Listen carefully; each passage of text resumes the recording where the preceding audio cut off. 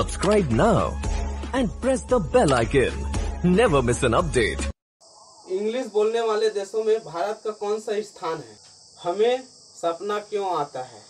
ऐसा कौन सा जेल है जिसमें कैदी भाग जाने पर उसे सजा नहीं बल्कि छोड़ दिया जाता है? खाना खाने के बाद तुरंत पानी क्यों नहीं पीना चाहिए?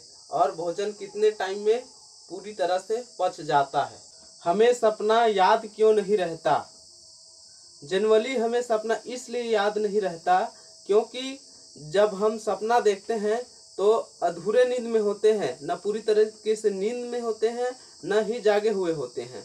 और सपना में कुछ ऐसा घटना घटित हो जाता है जिसके कारण से नींद अचानक से खुल जाता है, जिससे हमारे माइंड से पूरा सपना खत्म ही हो जाता है और हमें कुछ याद नहीं रहता। जनरली किसी को पता नहीं कि हमें सपना क्यों आता है। पर एक तर्क से पता लगाया गया है कि जब हम सोते हैं, उस टाइम हम, हमारे दिमाग में जो कुछ भी चलता है, वह हमारे सपने के रूप में हमें दिखाई देता है।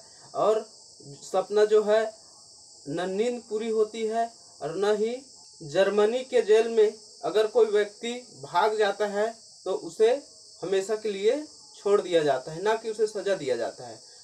वहाँ का मानना यह है कि वहाँ के लोग अगर भाग जाते हैं तो वहाँ के सरकार का मानना है कि हर इंसान को स्वतंत्रता का अधिकार है, करके उसे बाइज्जत छोड़ दिया जाता है, उसे कोई सजा नहीं दिया जाता। खाना खाने के बाद तुरंत पानी इसलिए नहीं पीना चाहिए, क्योंकि पानी अगर हम खाना खाने के बाद पीते हैं तो हमारे पाचन क्रिया पर प्रभाव डालता है।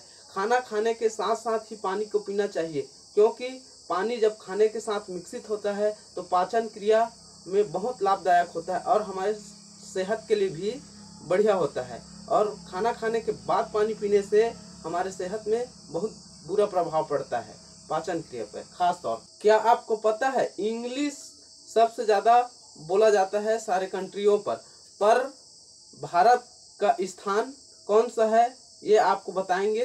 पहले पहले नंबर पर कौन है, उसे बता देते हैं।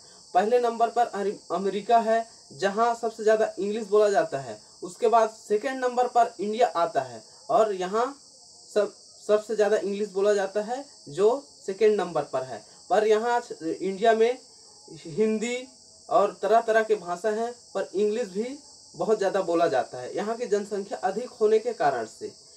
क्या आपको पता है मोबाइल में कितने बैक्टीरिया होते हैं?